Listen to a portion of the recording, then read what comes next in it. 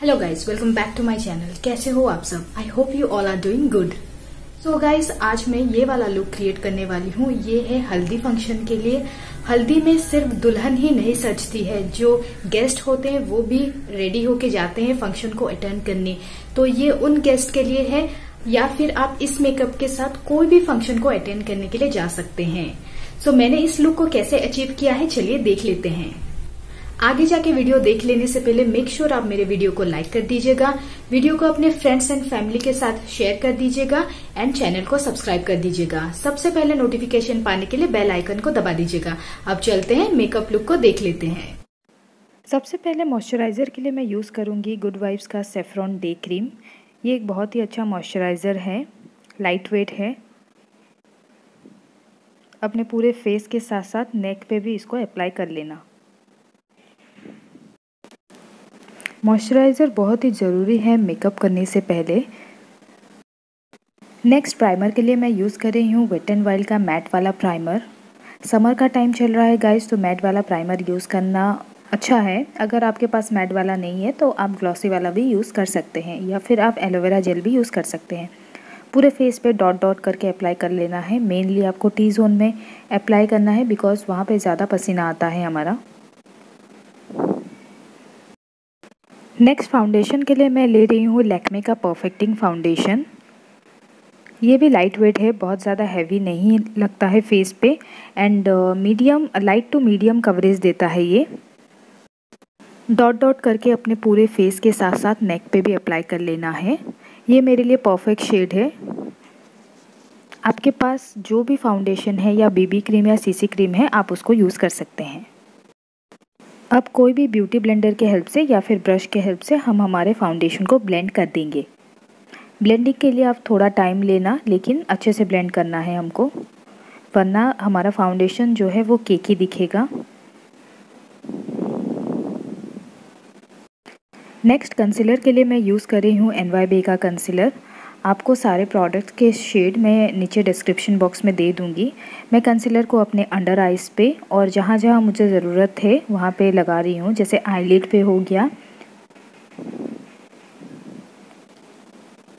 Forehead पे nose पे nose side में और हमारे लिप के साइड में।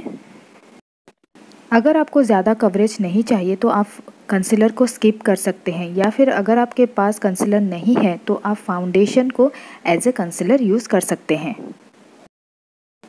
कॉम्पैक्ट के लिए मैं यूज़ कर रही हूँ मेबेलिन का सुपर फ्रेश पैक जहाँ जहाँ आपने कंसील किया है, उस जगह को अच्छे से आप लोग सेट कर लीजिएगा कॉम्पैक्ट के हेल्प से।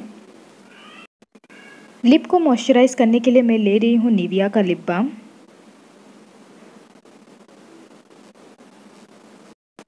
अब आते हैं आई मेकअप पे। मैं यूज़ कर रही हूँ वेट एंड वाइल्ड का eye palette eye shadow palette उसमें से ये वाला शेड लूँगी। उस कलर को पहले मैं अपनी क्रीज पे डिपॉजिट करूँगी। वो थोड़ा सा लाइट शेड है। नेक्स्ट मैं मोरफी पैलेट से ये वाला शेड लूँगी। सेम कलर को मैं अपने क्रीज पे डिपॉजिट करूँगी और थोड़ा डार्क करूँगी। सेम पैलेट से मैं ये वाला रेड शेड लूँगी और अगेन मैं अपने क्रीज में ही डिपॉजिट करूँगी और थोड़ा डार्क करने के लिए। उसके बाद वेट एंड वाइल्ड के पैलेट से मैं ये वाला जो ग्लिटरी शेड है उसको लूँगी। फिंगर के हेल्प से मैं डिपॉजिट करूँगी। ये थोड़ा चंकी सा आई है। आप लोग देख सकते हैं। ग्लिटरी आई है ये।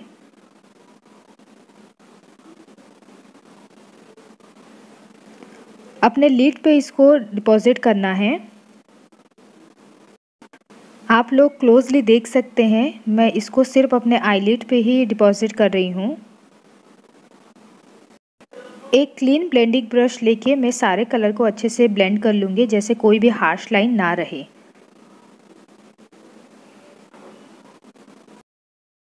नेक्स्ट मैं अभी एक क्लीन ब्रश लूँगी और जितना भी फॉल आउट हुआ है, थोड़ा बहुत उसको मैं क्लीन कर लूँगी। लाइनर के लिए मैं एन वाई बे का लाइनर यूज़ करूँगी। मैं यहाँ पे विंग लाइन क्रिएट नहीं करूँगी। जस्ट हल्का सा आईलाइनर लगाना है। बिल्कुल भी विंग नहीं निकाल रही हूँ मैं। आईब्रोज को फिल करने के लिए मैं ये वाला ब्लैक शेड लूँगी वेट एंड वाइल्ड के पैलेट से। और पहले एक हल्का सा लाइन क्रिएट करूँगी एंड उसके बाद सारे गैप्स में फिल कर दूँगी।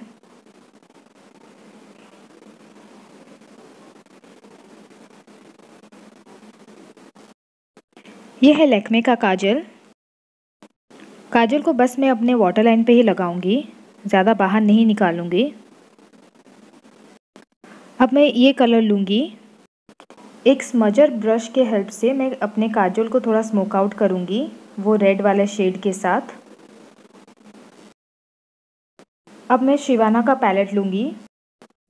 उस पैलेट से मैं कॉन्टोर का शेड लूँगी और कॉन्टोरिंग करूँगी। हल्का कॉन्टोरिंग जहाँ जहाँ ज़रूरत है, वहाँ पे कॉन्टोरिंग करूँगी। ये मतलब बहुत ज़्यादा डार्क शेड नहीं है लाइट है। जॉ लाइन में एंड नोज़ में आप चाहें तो इसको स्किप भी कर सकते हैं। ब्लश के लिए सेम पैलेट से मैं ये वाला शेड लूँगी और हल्का सा ब्लश ऑन करूँगी। स्माइल करते हुए ब्लश लगाना चाहिए। हाइलाइटर के लिए मैं लूँगी बटन वेल का हाइलाइटर और अपने हाई पॉइंट को अच्छे से हाईलाइट कर दूँगी।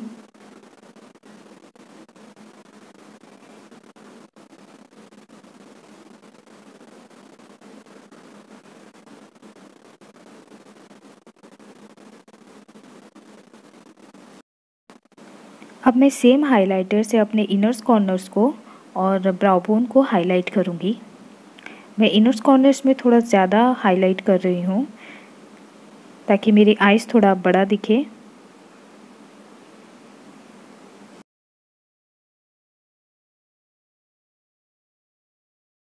लिपस्टिक के लिए मैं यूज़ करूँगी शुगर का ये लिपस्टिक।